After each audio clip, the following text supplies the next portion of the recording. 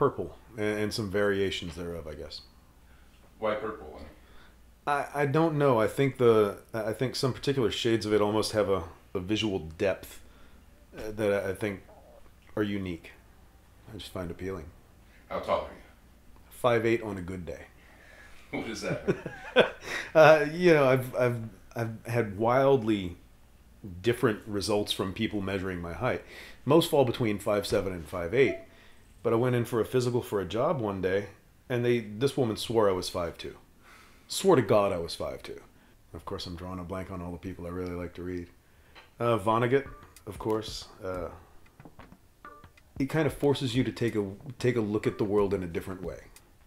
Everyone everyone has their established point of view, but constantly challenging yourself to see it from a different point of view, I think, is a it's a really interesting way to go about it. It's kind of what attracted me to this when Clint mentioned it. You, know, you see these people and you have no idea what their point of view is. Nothing, no idea what they are. What's your favorite food? Chile rellenos, What's your least favorite food? mayonnaise,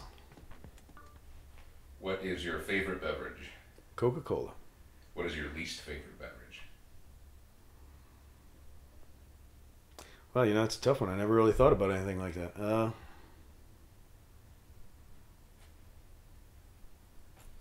Jägermeister, I guess. That is a very good answer. Pretty, pretty damn foul stuff. on that on that note, what's your favorite alcoholic beverage? Ah, you know, for really simple questions, these uh, these kind of involve some thought. Yeah. Uh, I guess tequila, white tequila. Is it a, a sipping thing for you, or is there a mixed drink that you prefer with it? somewhere in the middle. Uh, tequila and seven, I think, is a really nice compromise. Seems like every bar can do a tequila and seven. Yeah. What is your favorite smell? That's a really tricky one for me. I uh, I don't really have much of a sense of smell. Uh, so, mm, I guess vanilla is one that I can still really get that I enjoy. High pitched beeping. Is there a direct relationship to something, or is it just Nope, it just drives me up the wall. If, if it's a phone ring, if it's a watch alarm, if it's a if it's a, a wake up alarm, whatever it is, it just drives me absolutely up the wall. I've never really thought about that. Uh, can you tell me a joke? All right, so uh, Boudreaux is out back of his house tending his little garden on a Sunday, doing nothing but tending his tomatoes and his peppers. And his friends, uh, Thibodeau and Jean Baptiste, come around the corner. Say, Boudreaux, baby, you best sit down. We got some bad news for you. Say, why? What could be that bad? No, just sit down. This is gonna be rough. Jean Baptiste step up, say, uh, baby, you know your wife Clotilde. She went down to check them crawfish traps, but uh, we found her floating face down in the swamp this morning. I say, oh no, what I'm gonna do without my Clotilde? I know her since I was a baby boy. How my life could get any worse? And Thibodeau steps in and says, no, okay, it's okay. I got some better news. Maybe this gonna help you some. Oh no, what could make my day any better? I say, well now, Boudreaux, you know when we found her, she had two dozen fat blue crab on her, so we're gonna run her again tonight.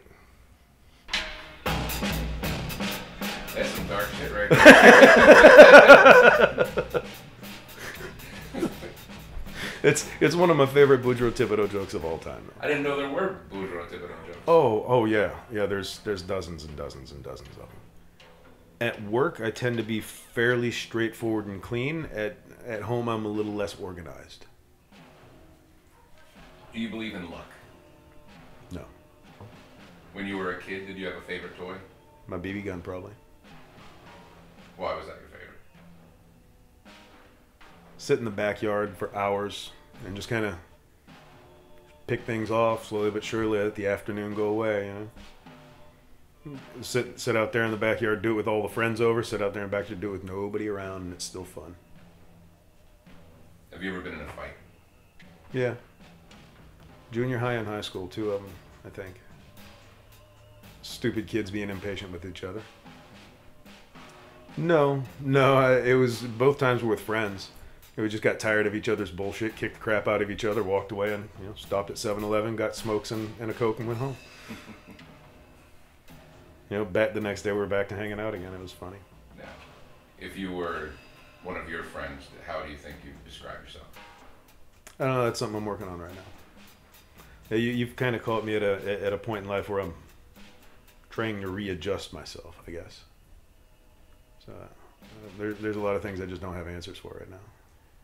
I, don't really have a really big hang up on a band or a song or anything like that. Uh, this morning I was listening to the Wild Wild Tchoupitoulas, Hey Hey Indians are coming, because it's Mardi Gras, you know. Uh, so today we're gonna go with we're gonna go with Hey Hey Indians Coming by Wild Wild Tchoupitoulas. Well, I, uh, I've I've been a, a very, uh, ooh, I want to say oh, bordering reclusive person for for a lot of years of my life. Another reason I was interested in doing this is because this is not something that's in my character at all. So I, I think stepping out and allowing myself to, you know, putting myself in this situation is probably really healthy for me uh, because it's a little uncomfortable and outside of my nature. Learn to love yourself and learn to love each other. In that order. It's a good clarification. Yeah, yeah. If if if you don't love yourself, you're never gonna love anybody else correctly. You know. No, actually, I like the abstract. Uh, when I was younger, I had a hard time with maths with the abstract. Actually, no, that, I take that back. The abstracts were easy. I couldn't do the math to prove it. Um, no, no, no. I, I really enjoy thought exercises like that. I like wrapping my head around things. Uh-uh. I'm good. I think the most recent, uh, I've got a nephew who sent me a lot of information pointing out that the world is quite possibly a hologram, holographic projection.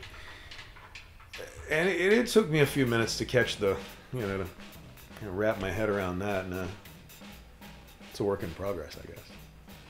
What is the saddest you've ever been? That's a really hard one. Um, I'd rather not answer that. What's the happiest you've ever been?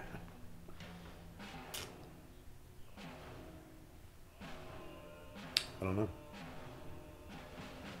When you were a kid, did someone sing you a lullaby, tell you a poem, a saying, a prayer? My mom had a had a version of Mary Had a Little Lamb. It's not really comforting, but it stuck with me. It's uh, Mary had a little lamb, it follows her no more. For what she thought was H2O was H2SO4, which is sulfuric acid. And, and my mom just thought this was the funniest thing in the world. I, I, I love her to death. She's she's a little nutty, and I love her to death.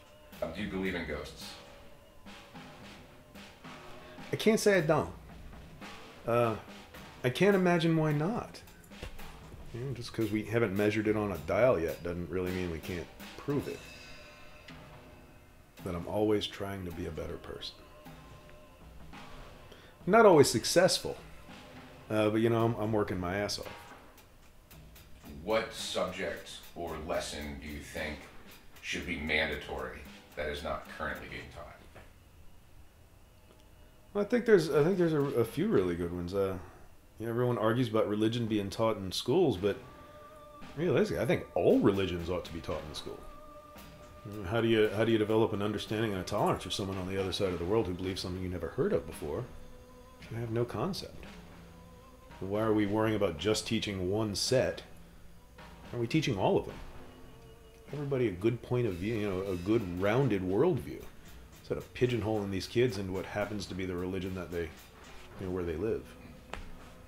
That and I think languages. We ought to teach kids languages at a younger at a younger age. What do you think is the most important ingredient in a successful romantic relationship? Honesty.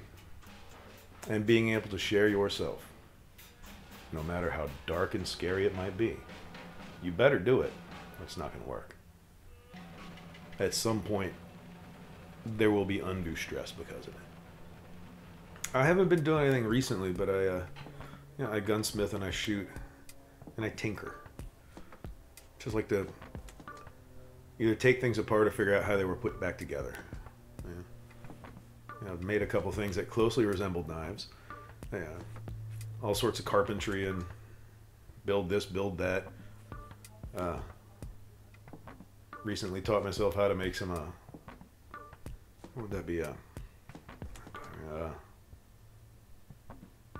py, pyro. Uh, what the hell would the word? Pyrotechnics? Pyrotechnic. Yeah, it's some uh, some pyrotechnic uh, compositions. this is pretty cool. Like, like I said, uh, yeah, distinctly uncomfortable, but really cool.